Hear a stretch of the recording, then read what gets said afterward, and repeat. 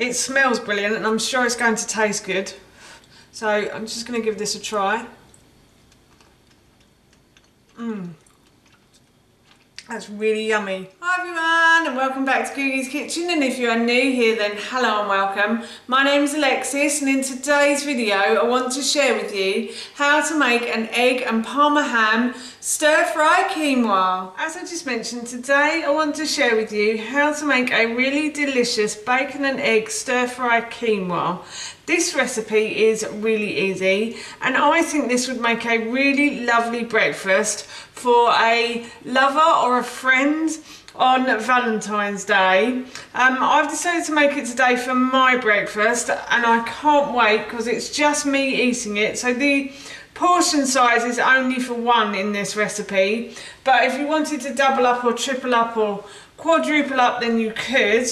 So the first thing I did was I soaked some quinoa overnight in a bowl. Well, I washed it first actually, and then I soaked it, and then I drained it, and then I put it into here, and I added some bone broth to that, and I just simply boiled it until all of the liquid has disappeared. It's only just finished boiling as well, so that's why it's still steaming there. Um, and I have done a recipe on how to cook brown rice.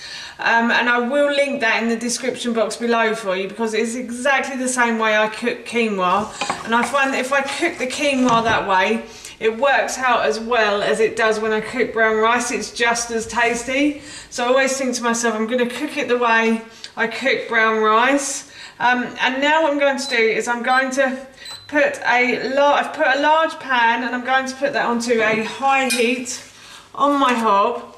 And I'm just going to add a little bit of oil to the base of that pan.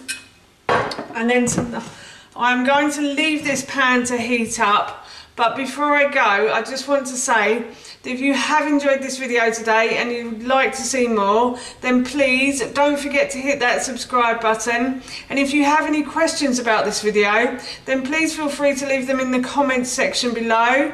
I love hearing from you and I love answering your questions. And if you did really enjoy this video today then please feel free to give it a big thumbs up. Everything like that really helps me out and I would really appreciate it. So as I said I'm just going to leave this pan to heat up. Pan is getting nice and hot now so what I'm going to do is I'm going to add two slices of parma ham that I've just simply sliced. So I'm just going to add those to the bottom of the pan and I'm just going to fry these for a few minutes until they start to get some colour into them and uh, start to look a nice golden brown colour. Parma ham has started to colour nicely if you can't get Parma ham for this recipe, then you can always use bacon. And then what I've done is I've sliced two spring onions.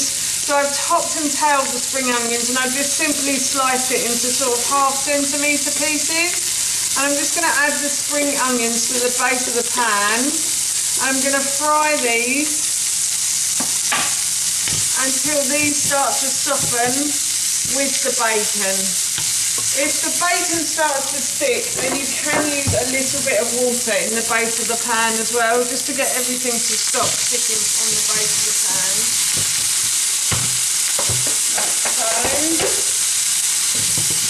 And I'm also going to turn the heat down a little bit because that's getting a little bit too hot there. So as I said, I'm just going to continue to fry the spring onions until they start to soften. Spring onions have started to soften, so now what I'm going to do is I'm going to add in about a quarter of a red pepper to the base of the pan. Uh, you can use green pepper for this. You could use yellow pepper as well or orange pepper if you wanted to. The colour isn't exactly important.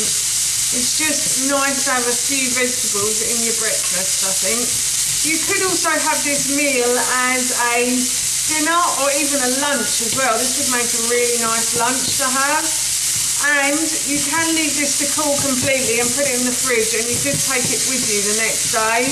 I wouldn't leave it any longer than a day though, to be honest. I think food, food needs to be cooked fresh, but if you wanted to take this as a packed lunch, then you could. So I'm just going to continue to fry the red pepper now until this starts to soften. You don't have to have it completely soft. but slightly soft I think is good for me. But if you prefer crunchy vegetables, then you could just fry it until it heats through. So the peppers have started to soften. It's only taken a few minutes, but they have started to soften. If you wanted the peppers to soften for longer, then you obviously leave them in the pan for longer, but your bacon will go a lot crispier or your parma ham will go a lot crispier. So just be careful of that. Wasting parma ham by throwing it over the side, that's no good, is it? And now what I'm going to do is I'm going to add the quinoa. I'm going to turn the heat down a little bit because it's still a bit too hot. And I'm going to add the quinoa to the mixture here. And then I'm going to crack some eggs into a cup. And I'm going to add the egg in like you would with a stir fry rice basically. So I'm just going to fry this now and mix everything in. Make sure everything's well mixed together and then I'm going to go and get my eggs because it's the one thing I've forgotten to put out, silly me. So I'm just going to remove this from the heat and I'm going to go get my eggs and I will fry the eggs in. I've some eggs and I've just scrambled them in the cup and now what I'm going to do is I'm just going to add them to the pan and I'm going to mix them into the quinoa until the egg is cooked basically. So I'm going to continue to fry this egg until it's mixed in with the quinoa and it's all cooked. So everything is cooked and as a finishing touch I'm just going to add in some tamari. So you could add soya sauce if you haven't got tamari. Tamari is just a soya sauce that's fermented for longer. So I'm just going to add that in. And now what I'm going to do is I'm going to add some salt and some pepper as well to taste. So salt and pepper to taste. You don't have to add it if you don't want to. I'm just going to add a little bit of pepper as well. And that, my friends, is my breakfast done. And I'm really looking forward to this. It smells fantastic, I have to say. I have served up, I've put it into a bowl and I just thought I'd give it a try to let you know how it tastes. It smells fantastic. I know it doesn't look that appetising, but honestly, it smells brilliant and I'm sure it's going to taste good. So I'm just going to give this a try. Mmm. That's really yummy. What would have been really nice in here as well if you have got it, is some just some spinach just thrown in at the end and let it wilt down.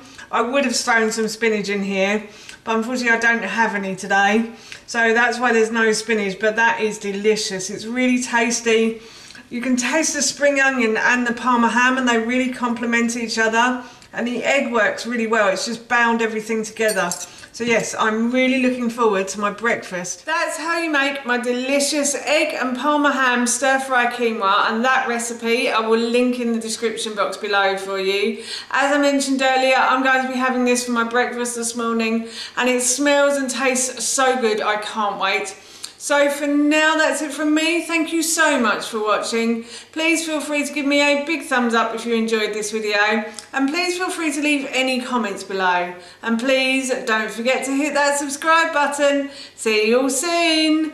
Bye.